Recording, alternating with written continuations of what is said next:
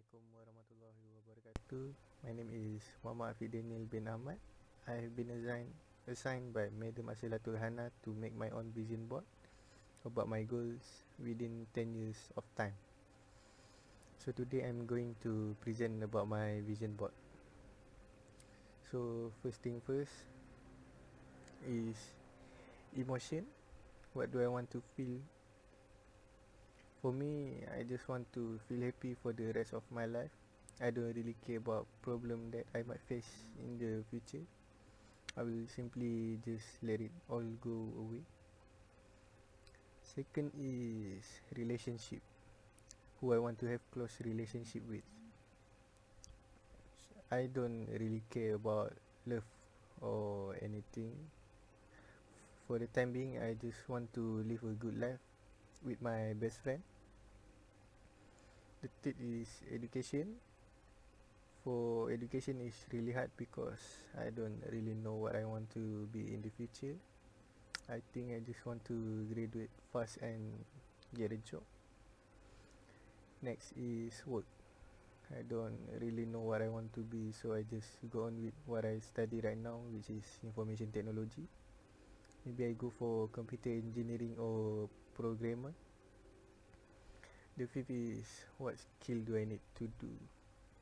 What skill do I need for my work? I think I need skill to type fast since my work will include a lot of typing. Next is where I want to live for me I like to live in the city where there is a lot of entertainment and infrastructure so it will be easy for me if I want to have fun. The next question is what do I like to do on my spare time? I like to play video game on my spare time because playing game can release my stress. Also I like to watch movie or anime on my spare time. Next is where would I like to travel on holiday? For me there is only one place that I really want to go which is Japan.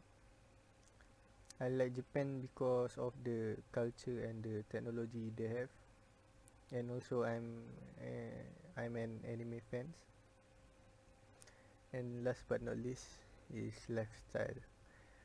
Within these 10 years I want to achieve money freedom so I don't have to worry on spending money spending my money on things.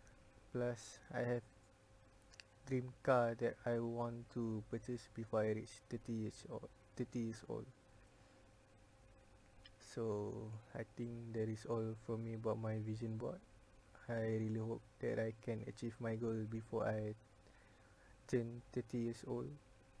And thank you for lending me your time